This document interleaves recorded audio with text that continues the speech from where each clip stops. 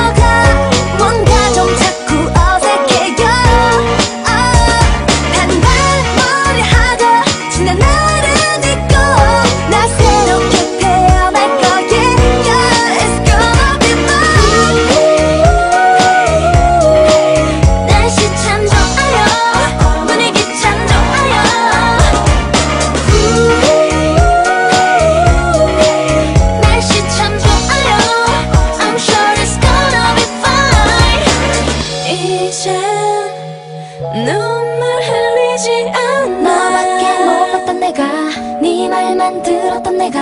절대 두 번 다시 상처받은